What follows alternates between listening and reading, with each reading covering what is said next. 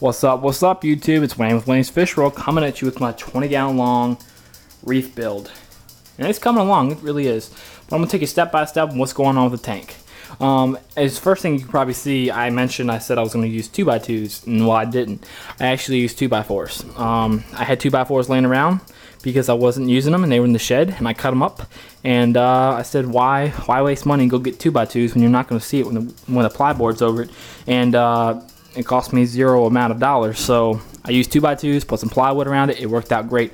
And like in the last video I showed you, I had some miscuts and I said, hey, it works out perfectly for the back and the canopy, the canopy's top. So I did that and uh, I got to get some more plyboard. I got to get one around here, one on this side over here. And I've got to, uh, there's going to be one that goes here and one that goes here. And my doors, I'm actually going to have two doors over here. I've got to take a drill. I got to get my DeWalt drill and uh, drill these in. I got these two in by hand with a screwdriver, and they, they went in pretty easily. Um, you can see that. And the door is going to be in the middle right here, and it's going to open up here, and it's going to open up like that. But uh, when I was screwing these in with the screwdriver, uh, it actually started taking the skin off my hands. That's how hard I was trying to get it in there. So they're not going in by hand. I've got to get a uh, my DeWalt drill in the shed. So I, am still got to test this thing and see if it's tempered or not. I really don't think it's tempered. They use tempered in bigger tanks because of the weight of, of the water, and it's such a small tank. I really don't think the bottom's tempered, but we're going to find out, get some 3D glasses, hold up to a computer screen or my cell phone or something, and uh, see if it's tempered or not. Um, down here in the sump, the sump is coming along. I've actually planned out how I'm actually going to, uh, actually going to, actually to plan the tank out, the sump out, and um, I planned out every little nick and cranny of this thing. So basically, unlike other sumps I've done in the past and other people do, there's only going to be two walls really. There's going to be one here, one here. Um, it's basically going to um, hold the refugium. That's pretty much it. It's going to divide the segments. Um, I am going to take a drill and drill holes. I don't know how big yet or how many, but there's going to be drill. There's going to be holes drilled into the acrylic panels. That way, water can pass by, but nothing else can. Um, my micron sock is going to probably go on this side, and the, the pump is going to be on this side because of the um, our top off system. And it can't work over here because I didn't level it by accident. I, I totally forgot. And uh, so it's not as high over here, so it only fits on this side. So my pump's going to be on the other side unless I take PVC piping and uh, start bending it around, which would be complicated. Um, I am going to put an acrylic panel over the sumps to cut back on evaporation rate. Uh, I am gonna stain the plyboard inside. I just haven't got around to it yet, guys. I'm just gonna stain everything once I get done. I'm also gonna put uh, trim work on the stand because I think this just plain out wood looks kind of kind of dull and boring. So it's gonna, I'm gonna make it look a little better with trim work. Um, that's pretty much what's going on with it, guys. I've still got a lot of stuff to do with it. Um, basically, in this sump, water's gonna I figured it out. It's just I figured out which side is going to go on. So I'm just going to start from the right. Um, Micron sock's going to be contained in one little acrylic panel or box. Water, it's going to have some holes drilled in it so water flows out of here. Inside of the um, Micron sock, I'm going to have some phosphate media and some Chemi-Pure Elite so that water hits it and contacts it. Um, then it's going to hit this wall with holes drilled into it. Going to hit the refugium, and I'm going to have a deep sand bed about four or five inches in here, and that's going to take out my nitrates. I'm going to install a deep sand bed all at once. That way it knocks it out, and the, and the cycle will start automatically. Um, this entire part is going to be macroalgae. And I'm actually thinking about switching out this compact bulb and put a 65K LED light bulb at Lowe's in there. And uh, then on this side, I'm gonna have my protein skimmer and my return pump. My return pump is actually gonna have a diverter valve, which I can probably put into a calcium or carbon reactor or something.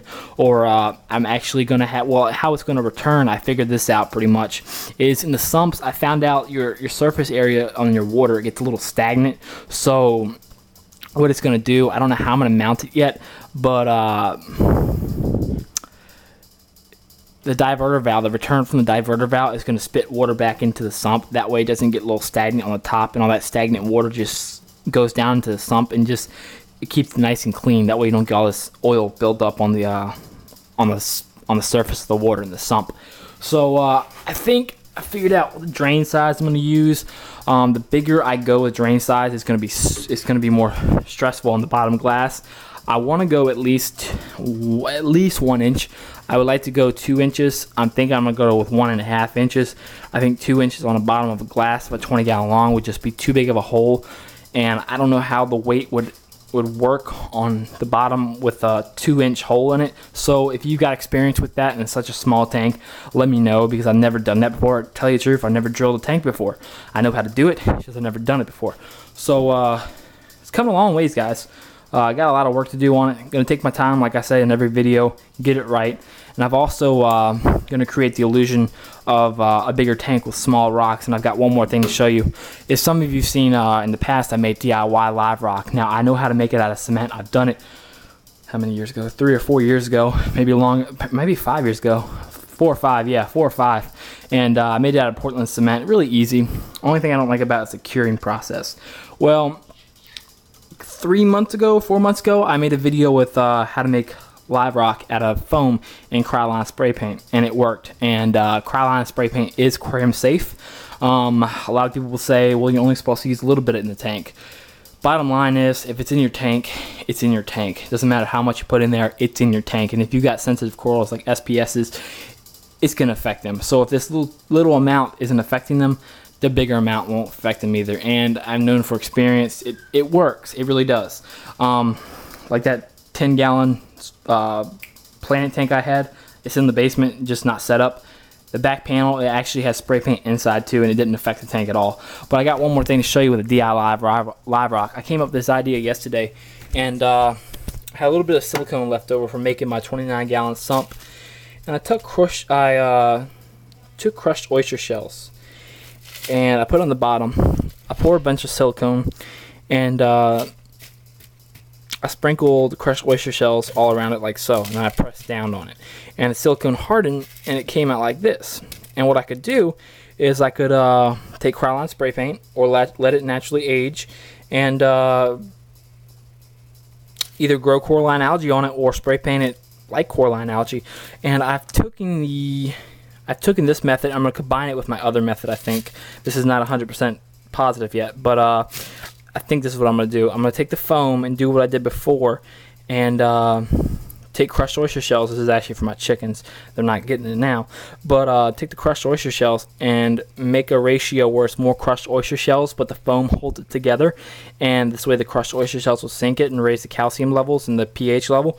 Um, but have the crushed oyster shells with the foam and basically taking the best of both worlds and making DIY live rock. DIY live rock. That's what I got going on, guys. Uh, one more quick look. You're not seeing my dirty room, uh, but one more quick look. That's what I got going on, guys. Comment, rate, and subscribe. Later.